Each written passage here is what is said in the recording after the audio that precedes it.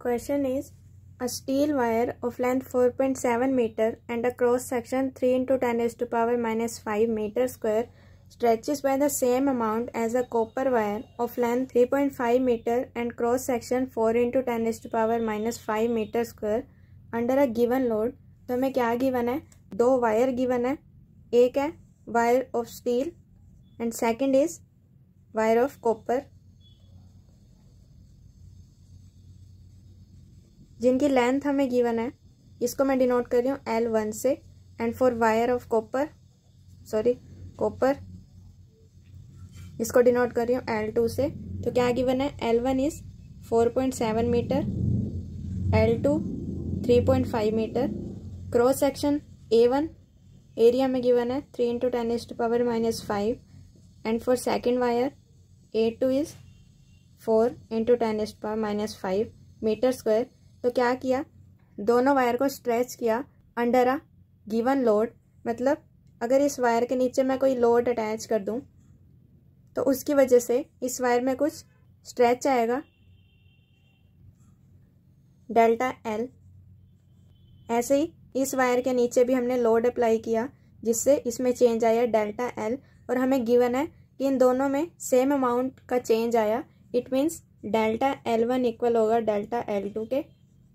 तो, तो हमें कैलकुलेट करना है ratio of Young modulus of steel to that of copper so Y one divide by Y two इसकी वैल्यू हम कैलकुलेट करेंगे। तो यंग मॉडुलस का क्या फॉर्मूला होता है? Y is equal to stress upon strain delta L by L तो इस फॉर्मूले से Y one will be F one divide by A one into delta L one into L one and Y two will be F two L two divide by A two into delta L two तो इन दोनों को हम divide करेंगे।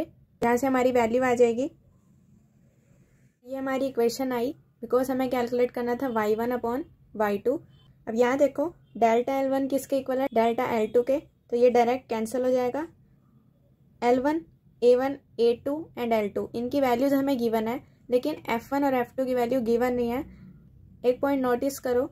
उन्होंने कहा है under a given load तो ये जो इन दोनों के नीचे हमने लोड अटैच किया है, ये लोड दोनों वायर्स के लिए सेम है। It means mass of one load equal होगा मास ऑफ़ सेकेंड लोड तो फोर्स एफ़ वन इक्वल होगा एफ़ टू के। तो यहाँ से क्या गया? एफ़ वन से एफ़ टू भी कैंसिल सेम मास अप्लाई हुआ तो सेम फोर्स लगा। इसलिए Y one by Y two की क्या वैल्यू आ गई? L one A two divide by A one L two. तो यहाँ वैल्यूज़ पुट कर देंगे।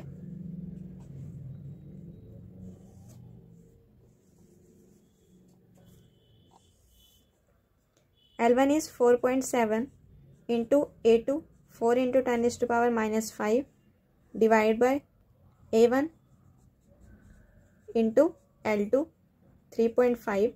तो यहाँ से ये डायरेक्ट कैंसिल ये डेसिमल से decimal cancel then 47 into 4 will be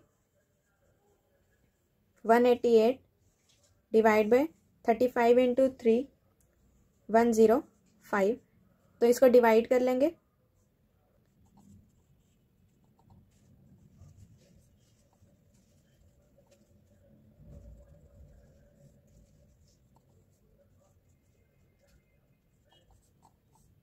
तो ये हमारी वैल्यू आ गई Y one by Y two equal आ गया वन पॉइंट सेवन नाइन, और इसको हम लिख सकते हैं nearly one point eight, one point eight divide by one, और Y one ratio Y two one point eight ratio one.